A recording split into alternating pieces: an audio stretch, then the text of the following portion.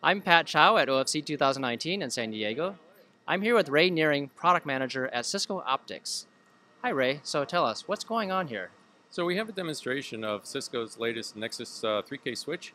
Um, it has uh, 32 ports of 400 gig uh, QSFP-DD um, uh, ports, and uh, what we're showing here is that uh, we're able to uh, operate modules at 20 watts without them overheating.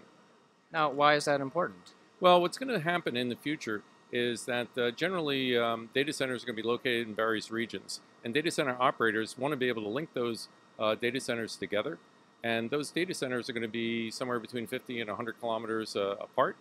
So they want to be able to use um, 400 gig uh, ZR modules.